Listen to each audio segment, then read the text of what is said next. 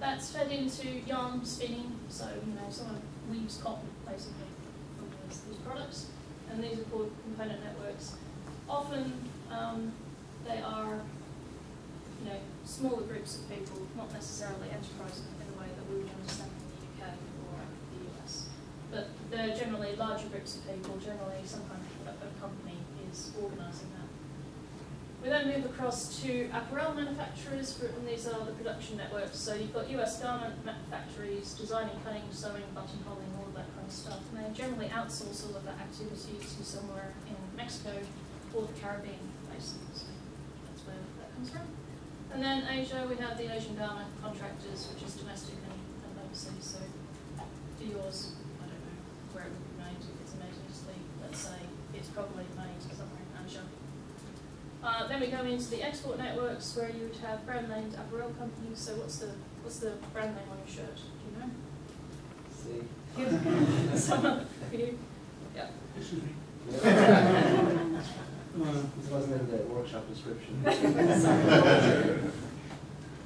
White. White. So white being uh, I don't know what uh, where that's located, the head offices, but basically they're, they're the company that is organising uh, these small all of the all of the all the input goes into those guys basically. They're making quite a lot of money. And then the department store which sells you the shirt.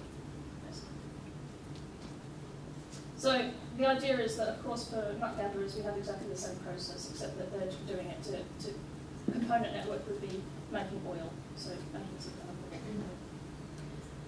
So this is the network production of non-edible oils in uh, the foothill of the Himalayas. So currently they've implemented networked operations, so they have groups or communities of uh, nut gatherers, they collect them in village level units, and then they transfer those into um, a much larger global unit for um, treatment testing and making into, a, into an actual product. The problem is, however, they're not actually able to deliver that straight into any kind of corporate supply chain, and that is because they're not able to actually prove that their oils are uh, compatible to certain types of standards, which are fundamentally needed before they're allowed into a corporate, corporate supply chain. So, the, the idea is that within the Indian market around oil, the export market might increase, but requires assurance for quality control, international standards, assurance for the absence of pesticidal, pesticidal residues and adulterants. And the, the fact of the matter is if we want these people to have more money or gain more income from their activities, they need to start making value-added value-added derivatives of oils, not just the raw product. Um, so the idea is how do we use open data?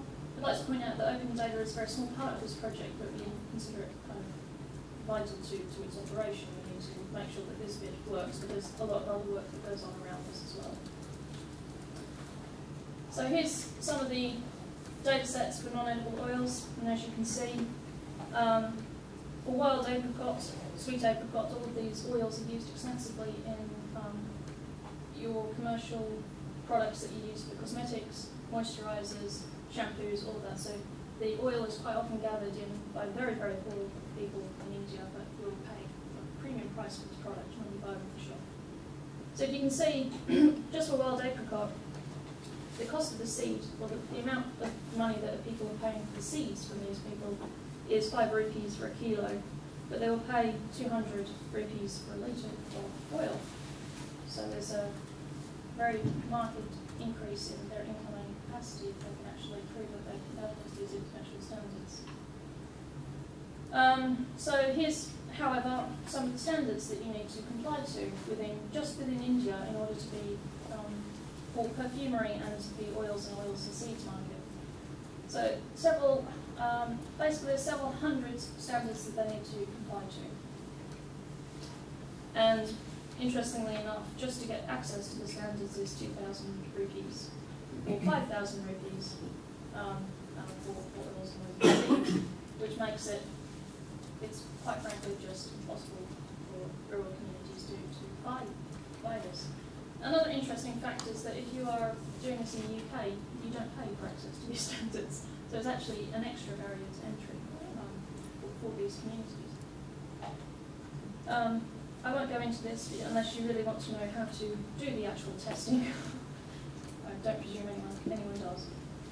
Um, so the idea is that, and we're, we're having some discussions through CTD with the, the Indian Bureau of Standards, is how we are going to actually make this information available in an open data format. So we're working very much with a digital technology um, program, but we are also trying to understand if just giving them free access to the paper will work just as well. Um, and hopefully we're, we're aiming to reduce um, their reliance on, on middlemen, which is an interesting question in and of itself because the middlemen in, in, the Indian communities actually don't earn that much money themselves. So we don't want to uh, put people out of work by this open data. We want to make sure that you know, the business model is sustainable for everybody, and that's, that's quite, quite difficult. Um, so yeah, as I mentioned, that there's a lot of other work that we need to look at as well. And so we have um, we have a designer working with us on design issues, doing some research into that, which would help us understand how to communicate quite complicated techniques to to um, rural communities, so they can do it quickly without wasting a lot of their time.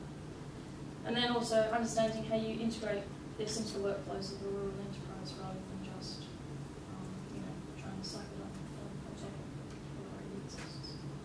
And then of course training and how you create trust um, across the supply chain, important in, any supply chain, guess. Okay, um, and in one minute I'm going to explain the framework for uh, that we're, we're currently investigating with uh, quite a few companies on, um, on how to explain the role of open data in the creation of um, smart cities. So it's quite a specific focus, but um, that's what we're looking at. Um, so the idea is, and this is why I brought up the global commodity trade approach previously within, previous example, is that we're looking at how um, you, you have this idea of an information-driven global commodity chain, where information in and of itself becomes a product. So the actual flow of data around a city has inherent value as in and of itself as an actual product, rather than just a, an auxiliary to a supply chain, physical supply chain. Um, so obviously I don't have time to explain all of this now, but the idea is that you, you would see, um, quite similarly to, to your shirt example, you have the raw components, which in this case is data, um, you have tweets, you have sensors in terms of in the form of actuators, and then you also have very large systems that are creating events for you, which are actually raw components in, in the network. Um, and then we move into component networks. One example is a social network. There are many, many, many other examples. Um, moving into production net network, distribution network. Currently, the, app stores and internet are the primary delivery channel, but I think that that's going to evolve over time. And then we're moving in, uh, we're seeing the evolution of the creation of marketing networks. I guess the most important thing here to notice is that the end user consumer uh, is directly linked into the rural component network. So there's, there's quite a large feedback loop within this, this uh, commodity chain, which doesn't exist in the physical. I mean, you, you don't go back and give input to the, the people picking cotton. Quite simple. Um, so we're working on um, basically working out where the open data sits here and working out um, how to map that currently. So any input you guys have is very welcome. And that's it.